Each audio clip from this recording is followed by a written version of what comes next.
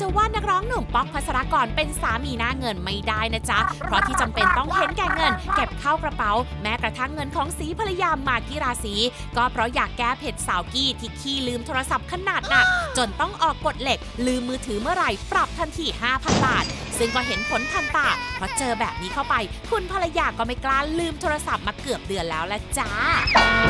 คือเราทำแพงเพราะว่าเขาจะได้ไม่ลืมไงเขาจะได้แบบเฮ้ยโห ห้าพันนะพันหนึ่งบางทีมันดูชิลไป เงินที่ได้จากเขามา ก็ใช้ประจำวัน